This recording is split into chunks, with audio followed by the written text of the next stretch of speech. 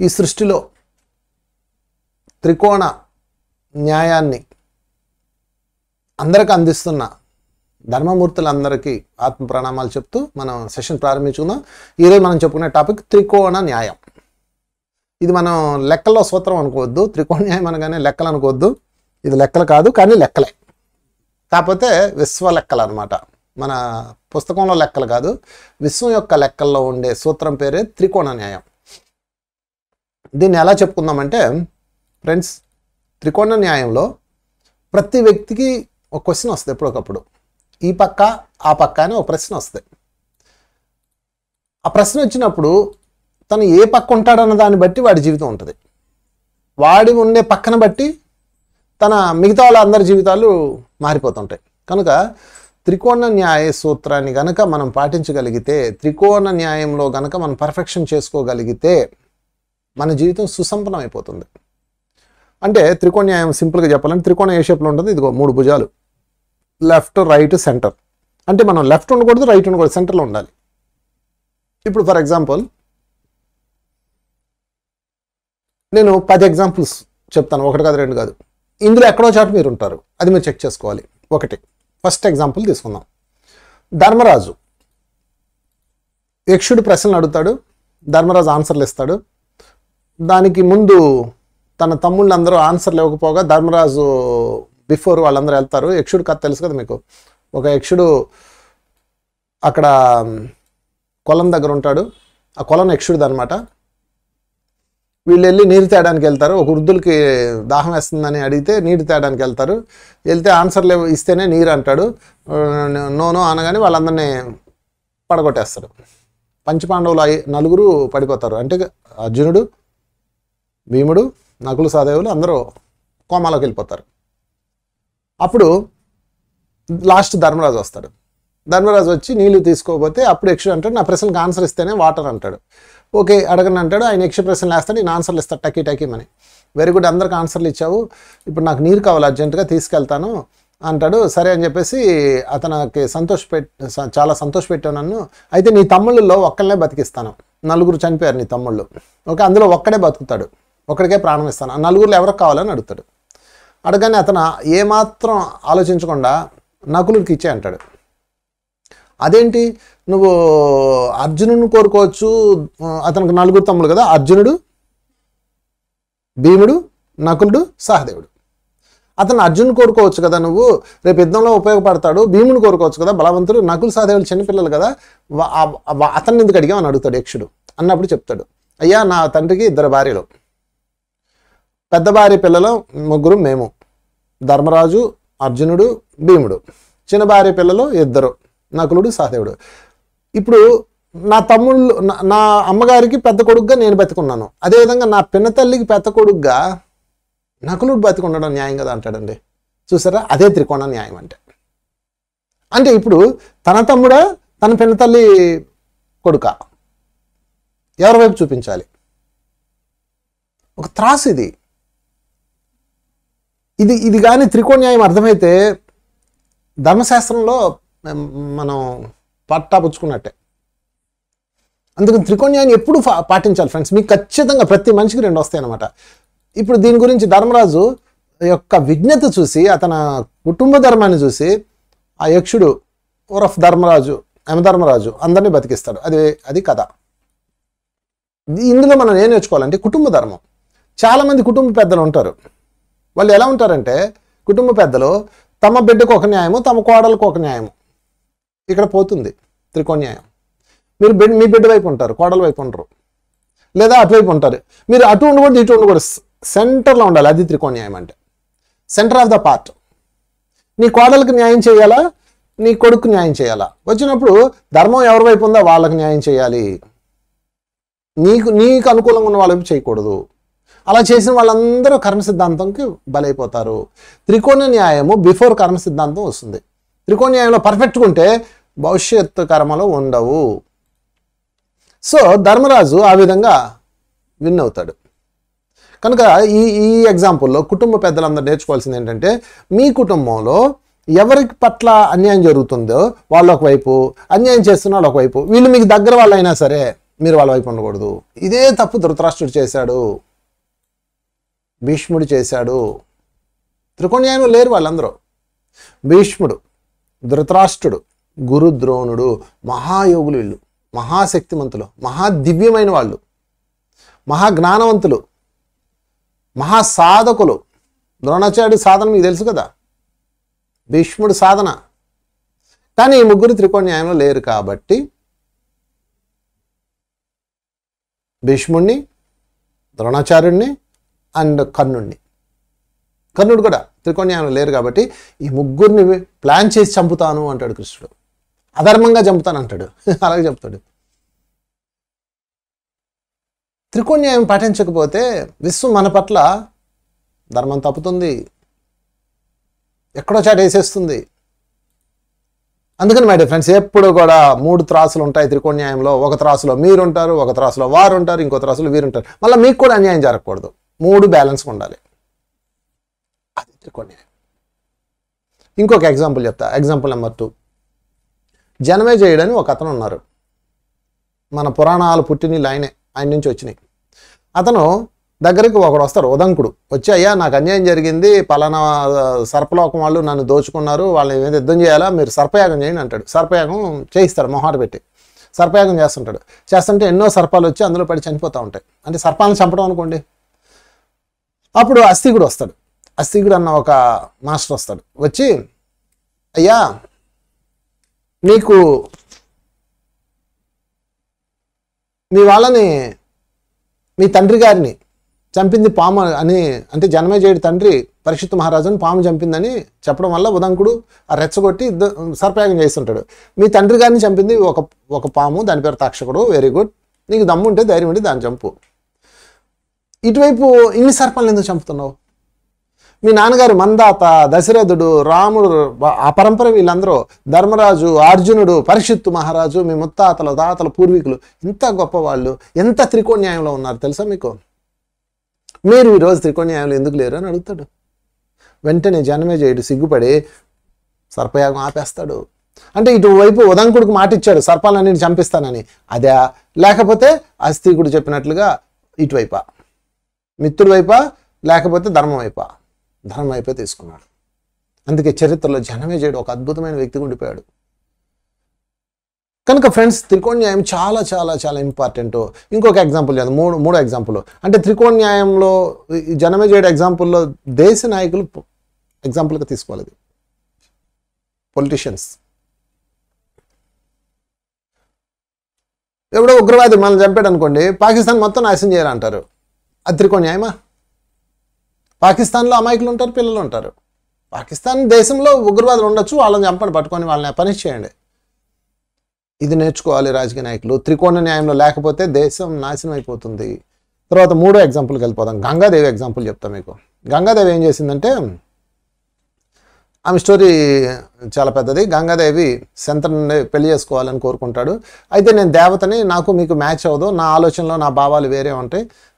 మన ఇద్దరు కుదరదు అంటది. లేదు లేదు నువ్వు నాకు కావాలి అంటాడు. అయితే నేను ఏం చేసి నువ్వు మాట్లాడకూడదు అంటది. సరే అంటాడు. గంగాదేవి శంతనుని పెళ్ళి చేసుకుంటుంది. పెళ్ళి చేసుకున్న తర్వాత వాళ్ళిద్దరికి పిల్లలు పుడుతుంటారు. పుట్టిన పిల్లని పుట్టినట్టు తీసుకెళ్ళి ఆమె నదిలో పడేసి మోక్షం ఇచ్చేస్తుంటుంది లేపేస్తుంటుంది చంపేస్తుంటుంది.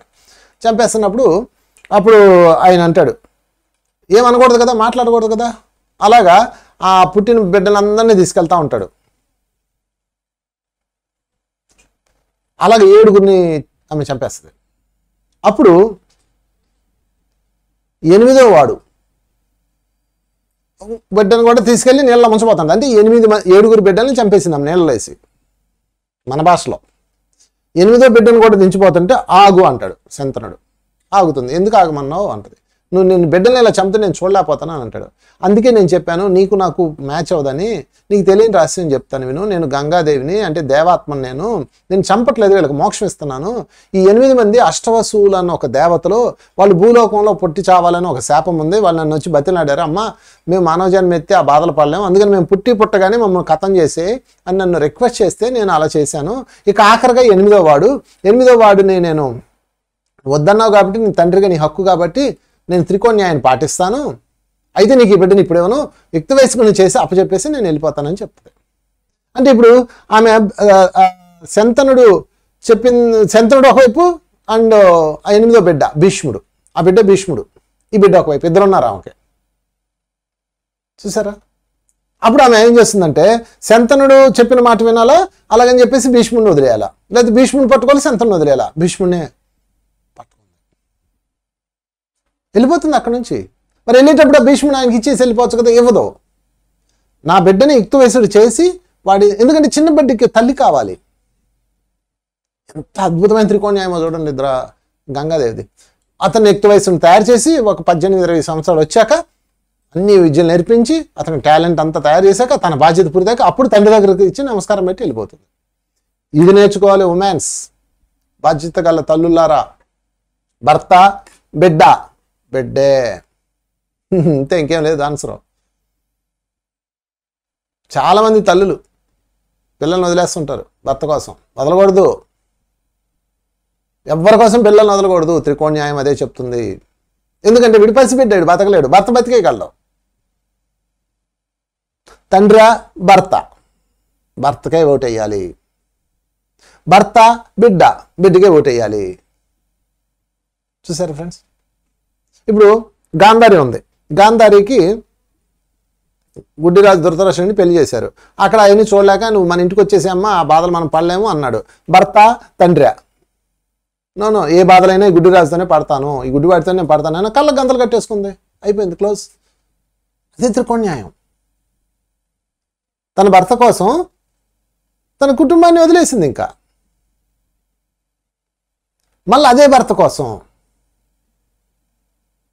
ఇక్కడ గంగాదేవి బిడ్డవాడి కోసం భీష్ముని వదిలే భీష్ముడి కోసం శంతనుని వదిలేసింది. నమస్కారం పెట్టేసింది. చూసారు ఫ్రెండ్స్ ఇది త్రికోణ్యాయం అందుకని ఎప్పుడూ కూడా మీ చేతిలో రెండు ఉంటాయి ఆ రెండిట్లో మీరు పర్ఫెక్షన్ చూపించాలి. ఎందులో ధర్మం ఉంది? ఎందులో అవసరం ఉంది? ఎవరి వైపు న్యాయం ఉంది? ఎవరి వైపు పర్ఫెక్షన్ ఉంది? ఇవన్నీ మీకు తెలిసిపోతాయి. మీరు ఎప్పుడు తెలుస్తాయి? మీరు అటు ఉండకూడదు ఇటు ఉండకూడదు. సెంటర్లో ఉంటేనే కనిపిస్తాయి. అది పాయింట్. అది త్రికోణ్యాయం అంటే.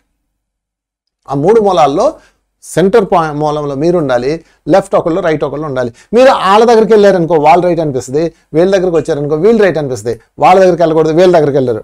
సెంటర్లో ఉండాలి. మీరు ఎప్పుడన్నా కోర్టులో చూడండి కోర్టులో జడ్జి ఎక్కడ ఉంటారు తెలుసా మీకు? సెంటర్లో ఉంటారు. బాగా అబ్జర్వ్ చేయండి.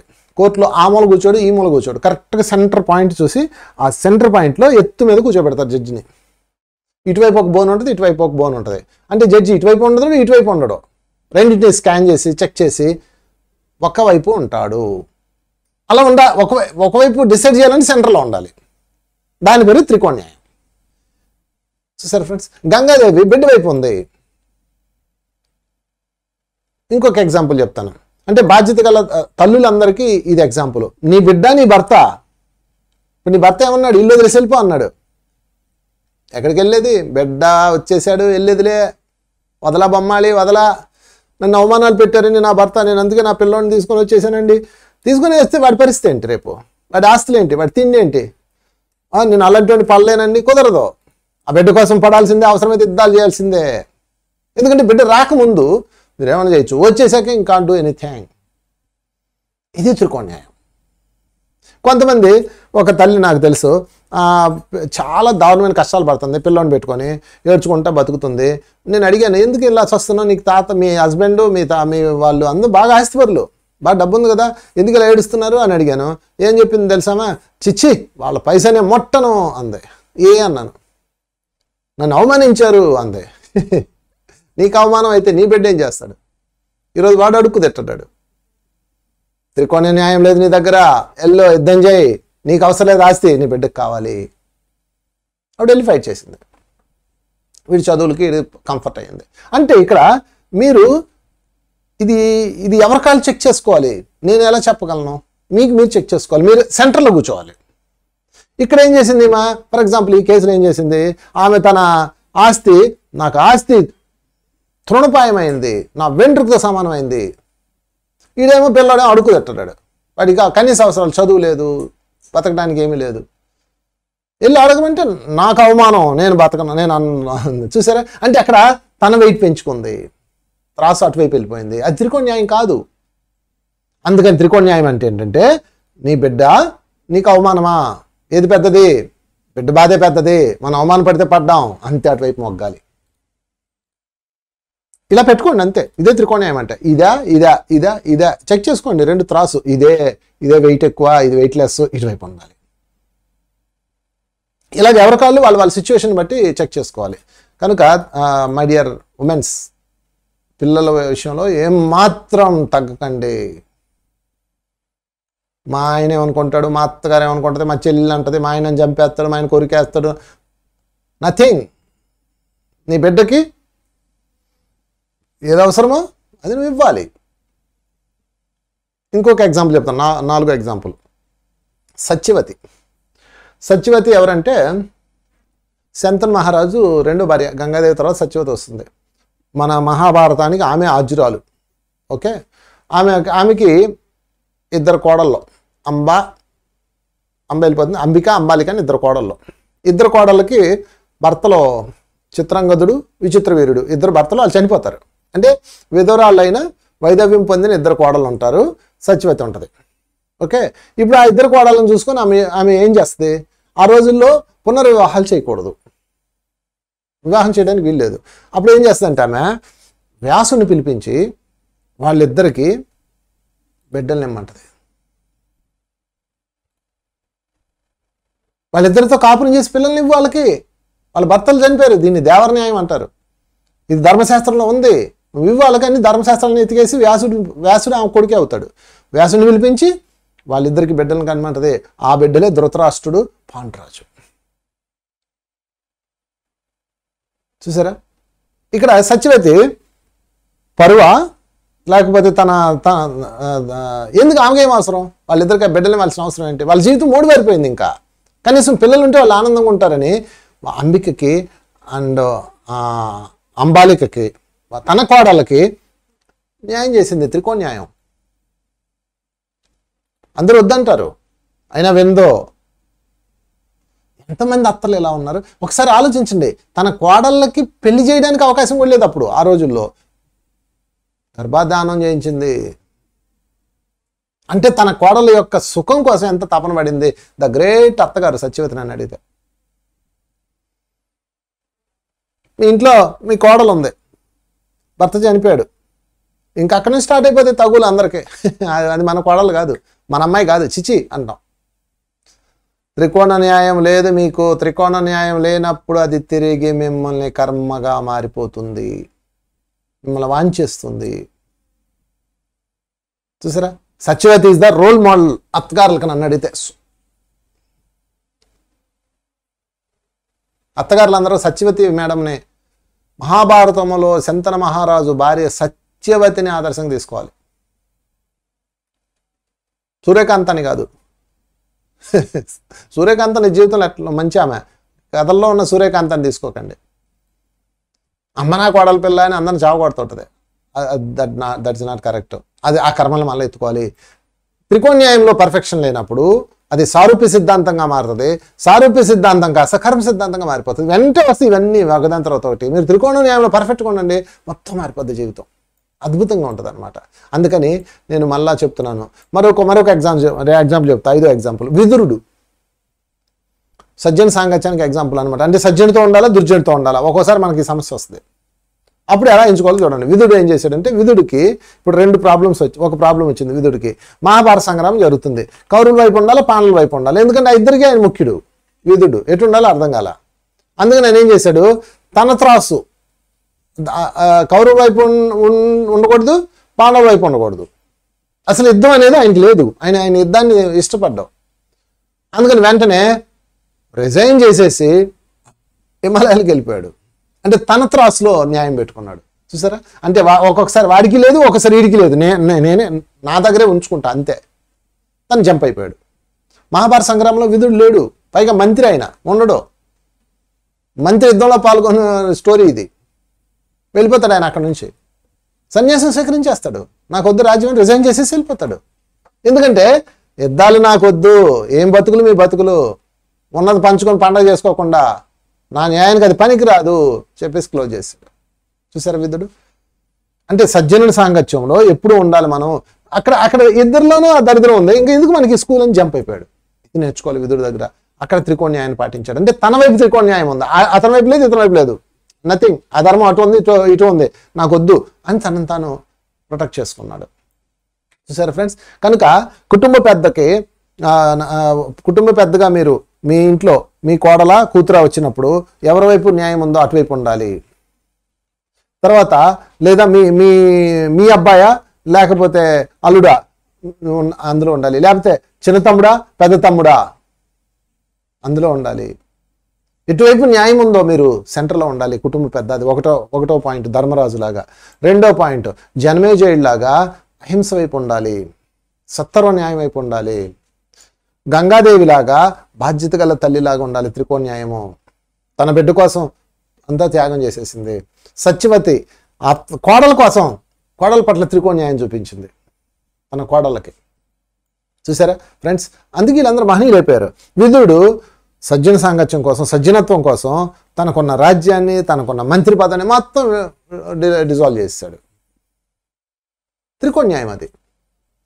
కనుక ఎప్పుడూ కూడా ఒక నిర్ణయం తీసుకునేటప్పుడు మీరు దయచేసి ఒక్కసారి సెంటర్లో నిలబడి అట ఇట ఇట అట అని ఆలోచించాలి. మీరు కానీ మీ వైపు కానీ న్యాయం వేసుకున్నా లేకపోతే మీ వాళ్ళ వైపు కానీ న్యాయం వేసుకున్నా త్రాసు ఒకవైపు మొగ్గుతుంది. త్రాసు ఒకవైపు మొగ్గిందా? ధర్మదేవత చేతిలో ఉన్న త్రాసు అధర్మం వైపు వంగుతుంది. అంతే ఆమె చేతిలో ఉన్న కత్తి నరిగేస్తుంది దహబ్బని కింద పడతాం ఓకే? ఇంకొక ఎగ్జాంపుల్ చెప్తాను. ఐదు ఎగ్జాంపుల్స్కి ఐదు ఫ్యామిలీ మోడల్స్ చెప్పాను కదా. ఇప్పుడు వృత్తి ధర్మంలోకి వెళ్దాం.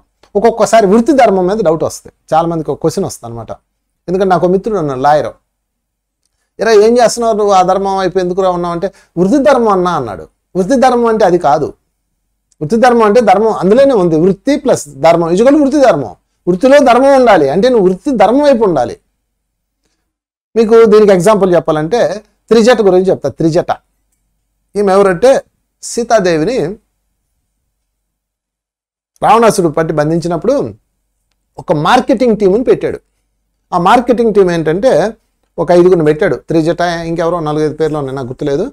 అందులో మెయిన్ క్యారెక్టర్ త్రిజట. ఈ ఐదుగురు పని ఏంటంటే ఆ సీతాదేవి మైండ్ని మార్చేయటం.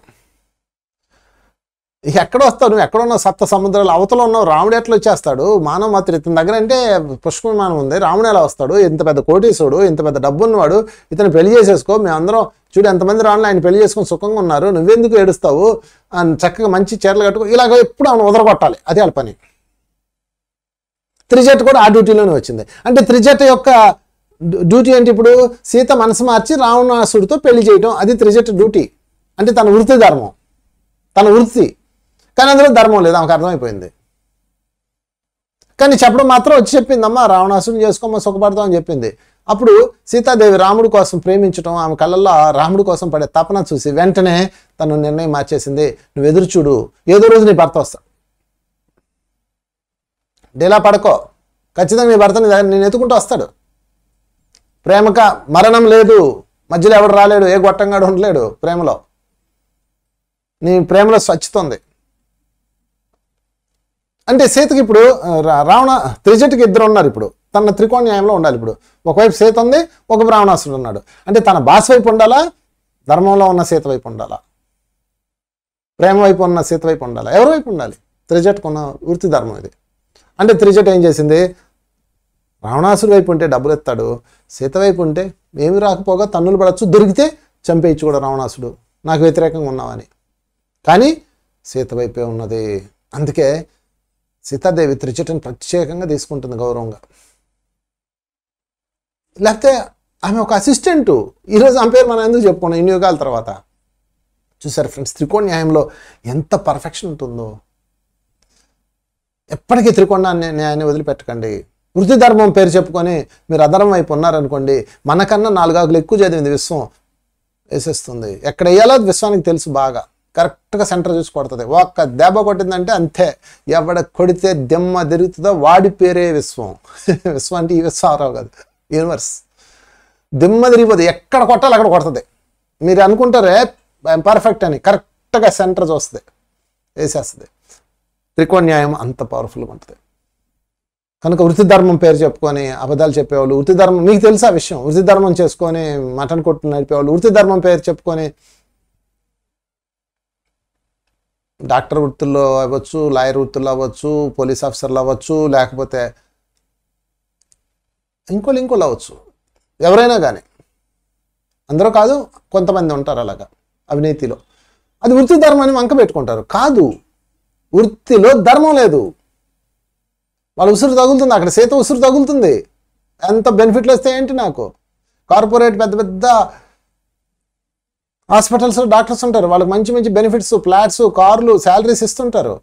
అది వృత్తి ధర్మం అంటారు. మా వృత్తి ధర్మం అండి. వాళ్ళ చేత కట్టించాలి డబ్బులు తప్పదండి. ఐదు లక్షలు కట్టించాలి ఆరు లక్షలు కట్టించాలి పది లక్షలు కట్టించాలని అంటారు. కానీ ఫ్రెండ్స్ ఏదో రోజు ఆ కత్తి ధర్మదేవత కత్తి మీ మేడ మీద పడుతుంది. అది చాలా భయంకరంగా ఉంటుంది. ఆ దెబ్బ చాలా దారుణంగా ఉంటుంది. అందుకని త్రికోణ సిద్ధాంతములో త్రికోణ న్యాయాన్ని పాటించాలి మీరు. దానికి వంకలు పెట్టకండి వృత్తి ధర్మం అని. తర్వాత పాయింట్లోకి వెళ్ళిపోదాం. రాముడు వారధ కట్టాలి. సీతను ఎత్తుకుంటే వెళ్తున్నాడు. వారధ కట్టాలి కదా? వారధ కట్టాలంటే ఏం చేయాలి? మీకు వారధ అంటే ఏంటి? బ్రిడ్జ్ కట్టాలి. అది పిల్లర్లు వేయాలి. కింద నుంచి రాళ్ళు వేసుకుంటూ వస్తే మనం వారధ తయారవుతుంది నడవడానికి. అప్పుడు రాముడు కడతన్నప్పుడు ఆయనకు ఒక ప్రాబ్లం వస్తుంది సముద్రంలో మన మనం నదుల్లో కానీ సముద్రంలో కానీ ఇలా అడ్డుకట్టేసినప్పుడు చాలా జలచర జీవులు చనిపోతాయి. రెండు వాటి కింద నలిగిపోతాయి. మూడు వాటి ట్రావెలింగ్ ఆగిపోతుంది. అంటే అక్కడ ప్రకృతి యొక్క డిఫ వైషమ్యం మారిపోతాయి. ప్రవాహం నీటి ప్రవాహం ఉంటుంది. ఆ ఎదురుగా వెళ్ళే చాలా జీవులు ఉంటాయి. ఒక చక్రం డిస్టర్బ్ అయిపోతుంది. అప్పుడు రాముడు ఆగిపోతాడు. అంటే ఇప్పుడు అతని ముందుంది జలచరాలకి బాధ కలిగించే పని చేయాలా? సీతనే సీత కోసం చేయాలా? మనమైతే ఇంక ముందు వెనక ఆలోచించుకుని ఆ పిల్లం అవుతుంది మేము ఎవడెట్టపోతే నాకు ఎందుకని మొత్తం కొడిపారేస్తాం కానీ రాముడు అయ్యుడు ఆపేస్తాడు. అతను ఆపినప్పుడు వరుణుడు వచ్చి అయ్యా ఇంత అద్భుతమైన త్రికోణ న్యాయం ఇది నీకోసం నేను బ్యాలెన్స్ చేస్తాను. నీటిని బ్యాలెన్స్ చేస్తాను. అని చెప్పేసి ఆయన తేలే రాళ్ళను తయారు చేస్తాడు. అప్పుడు ఆ తేలే రాళ్ళతో బ్రిడ్జ్ కడతారు. అంటే ప్లాస్టిక్ డబ్బాలతో మనం కడతాం చూడండి అలాగనమాట. పర్యావరణానికి ఇబ్బంది లేకుండా కడతాడు. ఇంకా దానికి వేరే చాలా కథలు ఉంటాయి. రాముని తలుచుకొని కట్టారు అది ఇదని. అది ఎవరి నమ్మకాలు అలవై ఏదేమైనా రాముడు అక్కడ ప్రకృతి వైపా సీత వైపా. ఇప్పుడు తనకు వేరే దారి లేదు. నా భార్య కోసం ఈ జీవులను ఎందుకు చావాలి? నో అన్నాడు. ఇది త్రికోణ్యాయం మన ఇంట్లో చాలామంది దీనిలో ఏమి నేర్చుకోవాలంటే మాంసాహారం మీద చెప్తాను. చాలామంది తల్లులు మాంసం తినరు కానీ పిల్లలు కొండి పెడుతుంటారు. వాళ్ళని అడుగుతుంటారు ఏమండి మేము మాంసం వండుతున్నామండి పాపం వస్తా అంటే ఎందుకు రోజు వస్తుంది. నువ్వు త్రికోణ్యాయాలు ఎక్కడ ఉన్నావు? అంటాను. అదేంటండి మా అబ్బాయి మరి తినాలంటున్నాడండి వాడి కోరిక తీర్చాలి కదండి అంటది. అంటే అప్పుడు ఏం చేయాలంటే ఒక జీవి యొక్క ప్రాణము బ బరువైందా? నీ కొడుకు యొక్క తినలేదన్న బా బాధ బరువైందా? ఏది బరువైంది? ఒక ప్రాణి యొక్క బాధ ప్రాణం కోసినప్పుడు ఎంత పెయిన్ అనిపిస్తుంది. అది పెద్దదా? నీ కొడుకు పడే బాధ పెద్దదా? ఇదే పెద్దదే. అప్పుడు నీ- నీ ఇటువైపు ఉండాలి. అది త్రికోణ్యాయం అంటే చాలా సింపుల్ అసలు దీనికోసం ఎక్కువ ఆలోచించక్కర్లా. మీరు ఇలా కూర్చోండి రెండు పెట్టుకోండి చేతులు. మోసం చేసుకోకుండా మీరు సెంటర్లో ఉండాలి. చూడండి సెంటర్లో ఉండాలి. ఈ పక్క ఈ పక్క ఈ పక్క ఆ పక్క ఆ పక్క ఈ పక్క. ఇది పాట ఉంటుంది కదా ఈ పక్కకు వస్తావా నాకన్నా ఆ పక్కకు వస్తావా అని. అట్లా మీకు మీరే తెలుసుకోవాలి. నా భర్త మాంసం వండమంటున్నాడండి నేను వండకపోతే తిడతాడండి అంది. తిట్టించుకోవడం బరువైందా? ప్రాణి యొక్క బాధ బరువైందా? ప్రాణి యొక్క బాధే బరువైంది కదండి. అయితే తిట్టించుకో అయిపోయింది. మా అయితే తిడతాడు పోనీ రెండు పీకులు పీకుతాడు. అంతే కదా అంతకన్నా ఇంకేం చేస్తాడు? ప్రాణం వైద్యుడు కదా. చూసారా ఫ్రెండ్స్ కనుక ఇదే త్రికోణ న్యాయం. ఈ త్రికోణ న్యాయం వచ్చేస్తే మీరు అన్ని ప్రశ్నలకు ఆన్సర్ టక టక టక టక మనం వచ్చేస్తుంది మీరు ఏం చేయాలో మీకు తెలిసిపోద్ది. నేను ఎవడు చెప్పక్కర్లేదు మీకు. ఏ గురువు అక్కర్లేదు మీకు. ఏం చేస్తారు? మరి తిడతారు కొడతారు. పోని కొడతారు. అది కూడా నాలుగు దెబ్బలు తినేద్దాం. ఈక కోసినప్పుడు వచ్చే రక్తము ఆ బాధ ఆ మేక ఆ చేప ఆ రొయ్య లేకపోతే ఆ కోడి పడే బాధ తెలియాలా మీకు? తెలీదా మీకు? ఏలు కోసుకున్నప్పుడు ఎంత బాధపడ్డారు? తెలీదా? తెలియదా మీకు? చిన్న బ్లేడ్ ఇలా కోసుకుంటేనే ఇంకా మూ- మూడు రోజుల పాటు అది సర సర సరమంటది ఇక్కడ కోసినప్పుడు రక్తం పోయేటప్పుడు అది ఎంత బాధ అనిపిస్తుంది? ఏమైంది నీ త్రికోణ్యాయం? మా ఆయన తిడతాడనో మా అబ్బాయి బాధపడతాడనో మా అమ్మాయి అలుగుతుందనో అలగనియండి అవనియండి. సో వాట్ ఇంట్లోంచి గంటేస్తారనో? గంటేనియండి. సో వాట్ ఏది బరువైంది? అంతే ఇంకేం లేదు ఇక్కడ అదే త్రికోణ్యాయం. ఇది ఎవరికాళ్ళే చూసుకోవాలి? నేనేం చెప్తాను? ఏది చేయాలండి అని నన్ను అడుగుతారు. నేనేం చెప్తాను నీకు? నేను చెప్పానని చేయకండి. మీ రెండు చేతులు ఎలా పెట్టుకోండి? ప్రతి దానికి ఇంతే. తల్లా పెళ్ళామా? పెళ్ళాం వైపు న్యాయం ఉందా? ఇటువైపు ఉండండి. తల్లి వైపు న్యాయం ఉందా? ఇటువైపు ఉండండి. మీకు తెలిసిపోద్ది. కొడుక కూతురా డెసిషన్ తీసుకోవాల్సి వస్తుంది ఒకసారి. ఎటువైపు న్యాయం ఉంది? కోడలా కూతురా?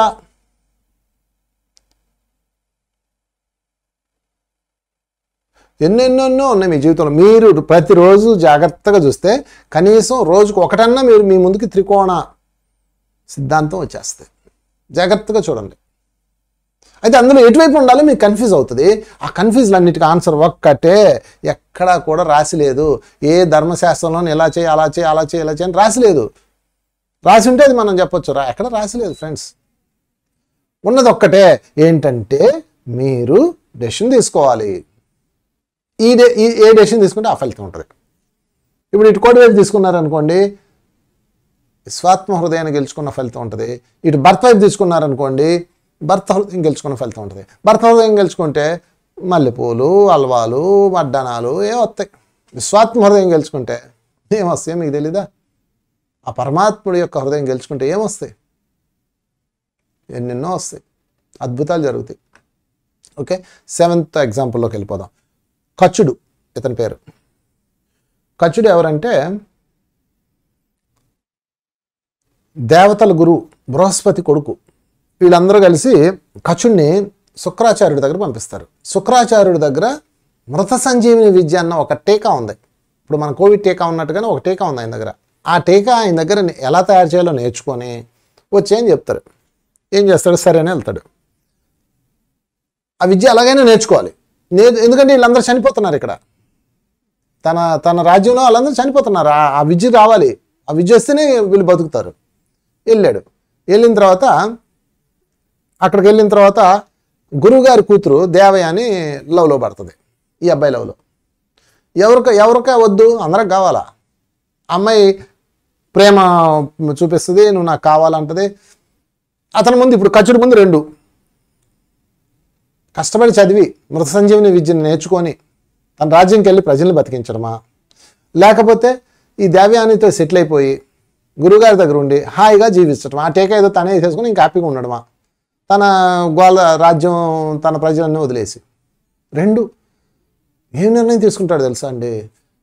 నో నువ్వు నాకు అవసరం లేదు. నాకు నా దేశ ప్రజల యొక్క ప్రాణమే ముఖ్యం. నేను త్యాగం చేస్తున్నాను అంటాడు. అప్పుడు ఆమె ఏం చేస్తుందంటే అయితే నువ్వు కన్నా నన్ను పెళ్ళి చేసుకోకపోతే ఈ మృత సంజీవిని విద్య నీకు పనికిరాదు.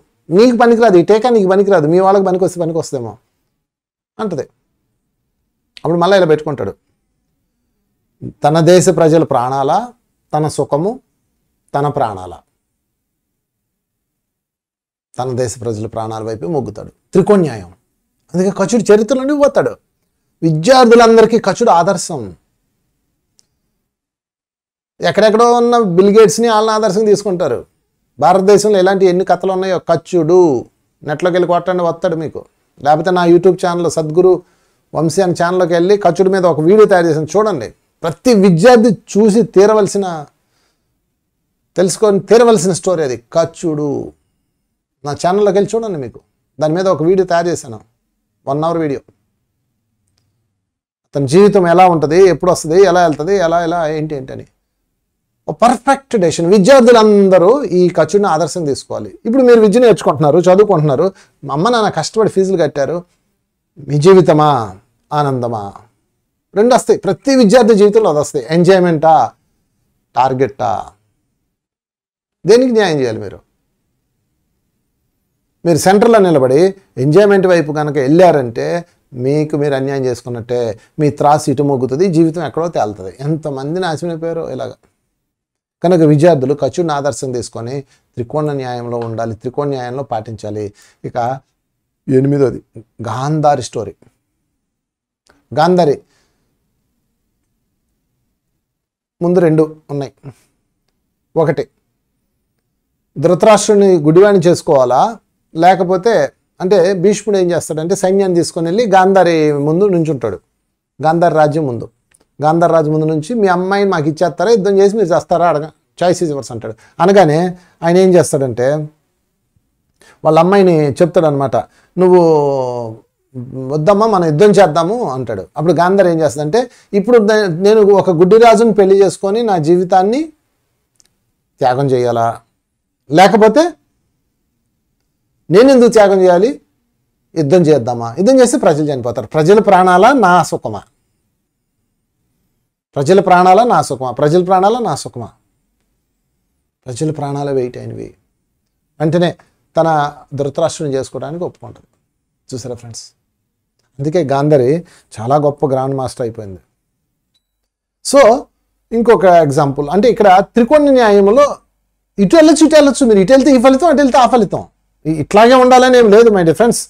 ఇట్లా ఉంటే ఈ ఫలితము అట్లా ఉంటే ఆ ఫలితము. అంతే తప్ప ఇలాగే ఉంటే ఇది రైటు అలాగే ఉంటే అది రైట్ ఏం లేదు. ఇక్కడ ఏ శాస్త్రం లేదు ఏ ధర్మం లేదు.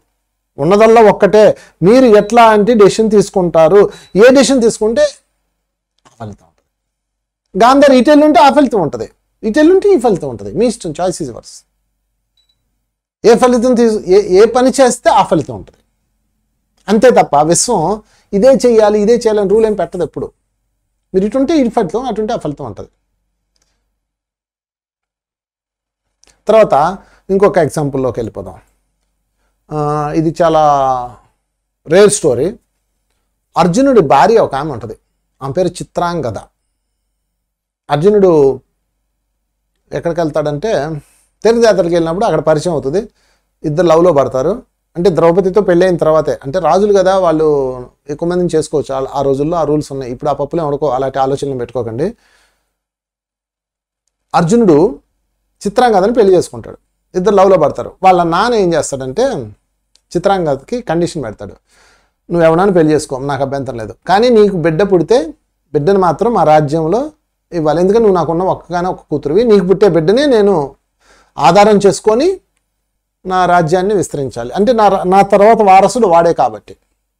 ఇది కండిషన్ నువ్వు ఎట్టన్నా ఉండంటాడు అంటే ఆమె లవ్ స్టోరీని యాక్సెప్ట్ చేస్తాడు. ఆమె లవ్ని అయితే కండిషన్ ఇది పెడతాడు.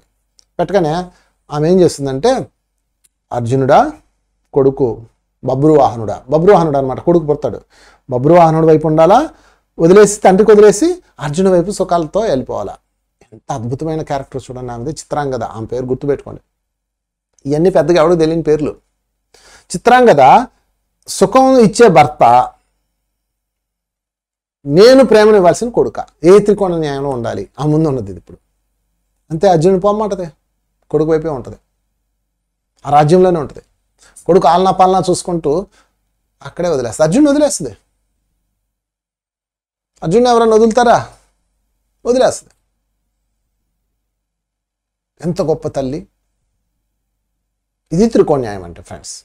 కనుక ఎప్పుడు కూడా త్రికోణ న్యాయము మీకు అద్భుతమైన జీవిత సాఫల్యం ఇచ్చేస్తుంది. మీ సమస్త సమస్యలకి ఆన్సర్లు ఇచ్చేస్తుంది. అందుకే రెండు పెట్టుకోండి. ఇటా ఇటా ఇటా.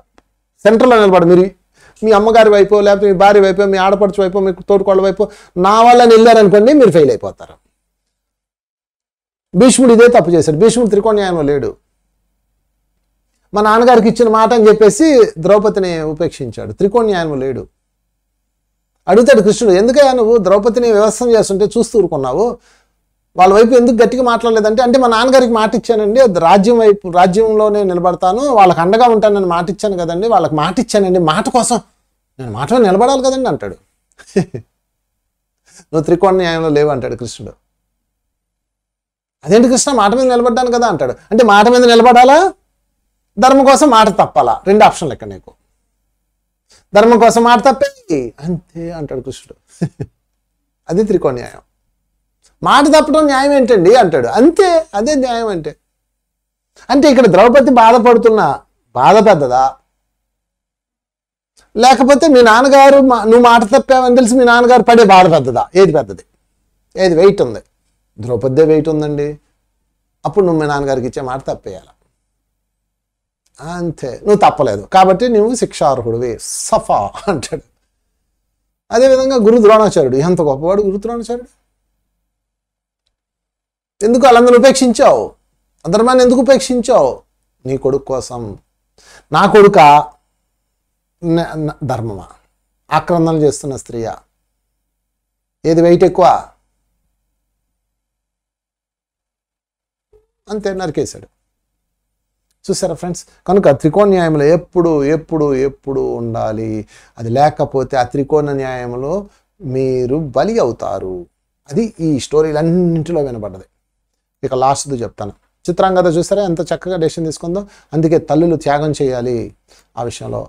కనుక ఈ తొమ్మిది పాయింట్స్లో మీరు బాగా గుర్తుపెట్టుకోండి. త్రికోణ న్యాయము ప్రతి ఒక్కళ్ళ జీవితాల్లో ఉంటుంది. ఆ త్రికోణ న్యాయాన్ని పాటించి మీరు కనుక పర్ఫెక్షన్లో ఉంటే అయితే ఇది ఒక జీవితంలో వంద కథలు ఉంటాయి. వంద కథలకి వంద స్టోరీలు ఎవరు రాస్తాడు? వంద వంద డెసిషన్స్ ఎవరు తీసుకుంటాడు? ఇక్కడ ఇలా చేయాలి ఇక్కడ చేయాలి అది ఏ ధర్మశాస్త్రం చెప్పలేదు మీకు. ఎందుకంటే అక్కడ పరిస్థితులు ఉంటాయి మార్పులు ఉంటాయి సిచ్యువేషన్స్ ఉంటాయి ఎన్నెన్నో ఉంటాయి అక్కడ. ఇట్లా ఉంటుంది అది. అందుకే సింపుల్. మీరు ఏం చేస్తారంటే ఒక త్రికోణ న్యాయ త్రికో త్రికోణం షేప్లో మీరు కూర్చోండి. మీరు సెంటర్లో కూర్చోండి అటో కూర్చేయండి ఇటో కూర్చేయండి. అటువైపు నీ- పాత్ర పెట్టుకో ఇటువైపు ఆపోజిట్ వాళ్ళ పాత్ర పెట్టుకో. ఇటువైపు నేను ఉండాలి. అటువైపు ఇటువైపు నా ఒక్కొక్కసారి నా వైపు కూడా నేను ఉండకూడదు. నీకు నీ మిత్రుడికి విభేదన వచ్చింది ఇక్కడ కూర్చోండి. ఇక్కడ మీరున్నారు అక్కడ మీ మిత్రుడు ఉన్నాడు అనుకోండి. ఇక్కడ వీడు చెప్పింది న్యాయమా వాడు చెప్పింది న్యాయమా రెండు వైపులా చూడండి. వీడి వైపే న్యాయం ఉంది వాడు అలా చేయడం కరెక్టే. అప్పుడు మీకు మీరు ఓటేసుకోకండి. వాడికి ఓటేయండి. లేదు నేను చెప్పిందే కరెక్టు. అప్పుడు మీకు మీరు ఓటేసుకోండి వాడికి వేయకండి. అదే త్రికోణ్యాయం. ఇది శాస్త్రంలో ఉన్నది ఇది. నేను ఎగ్జాంపుల్సే చెప్పాను. ఎందుకంటే ఈ జీవితాల్లో మీకు ఎక్కడో చోట ఉండొచ్చు. మీ జీవితానికి మీరే సాక్షి కాబట్టి మీరు ఎప్పుడూ కూడా ఈ కోణంలో పరిశీలించుకోవాలి. భర్త కోసం భార్యను వదలాలా భార్య కోసం? భర్తను వదలా పిల్లని వదలాలా అత్తను వదలా కోళ్ళ ఎవరి వైపు నేను ఉండాలి? చాలా పెద్ద క్వశ్చన్ వస్తుంది చాలామందికి. తల్లి వైపు ఉండాలా భార్య వైపు ఉండాలా లేకపోతే అమ్మ వైపు ఉండాలా నాన్న వైపు ఉండాలా? చాలామంది పిల్లలకు ఈ ప్రాబ్లం వస్తుంది. తల్లి తండ్రి ఇద్దరు పెళ్ళి చేసుకుంటారు కొట్టుకుంటారు విడిపోతారు. ఇప్పుడు ఆ పిల్లోడికి ఒక డౌట్ ఇప్పుడు నేను ఎవరి వైపు ఉండాలి? అమ్మ వైపా నాన్న వైపా? బాగా డబ్బులు కొనిపెట్టే బాగా అన్ని కొనిపెట్టే నాన్న వైపు ఉండాలా? ప్రేమను అందించి అమ్మ వైపు ఉండాలా? లేకపోతే ఏమాత్రం పట్టించుకున్న అమ్మ వైపు ఉండాలా? అలా ఆలోచించకూడదు. అక్కడ ఏం చేయాలంటే ఇక్కడ నేను లేకపోయినా నాన్న బతకగలడా? బతకగలడు? నేను లేకపోతే అమ్మ బతకగలదా? బతకలేదు. ఇటు ఉండాలి నేను లేకపోతే అమ్మ బతకగలదా? బతకగలదు. నాన్న బతకడు బతకలేదు అటు ఉండాలి ఇది త్రికోణ్యాయం. మై డియర్ చిల్డ్రన్స్ యూత్ యూత్కి సమస్య చాలా వస్తుంది. డైవర్సీ అయిన పేరెంట్స్తో ఇది వస్తుంది. అందుకని ఎటువైపు మీరు ఉండాలి పక్కగా మీ ముందు క్లియర్గా ఉంటుంది. మీరు అసలు అన్నీ మర్చిపోండి. అసలు ఈ శాస్త్రాలు విద్యలు బోధనలు గురువులు అన్నీ మర్చిపోండి. రెండు చేతులు ఎలా పెట్టుకోండి. ఎవరు? మీ హృదయం చెప్పేస్తుంది. మీరు సెంటర్లో ఉంటేనే మీ హృదయం చెప్తుంది. ఏదో ఒక పక్క ఉంటే మీ హృదయం చెప్పదు. ఎందుకంటే విశ్వాత్మ హృదయం ద్వారా చెప్తుంది. జడ్జిమెంట్ హృదయం ద్వారా వస్తుంది అనమాట అందుకని మీరు ఎటు ఉండాలి? మీ వైపు కూడా మీరు ఉండకూడదు గుర్తుపెట్టుకోండి. అదే త్రికోణ న్యాయం అంటే. థ్యాంక్ యూ ఫ్రెండ్స్ మీరందరూ త్రికోణ్యాయాన్ని పాటిస్తారని కోరుకుంటూ నేను మీరు అందరం త్రికోణ్యాయంలో జీవిద్దాం విశ్వ ధర్మాన్ని నిలబెడదాం. Thank you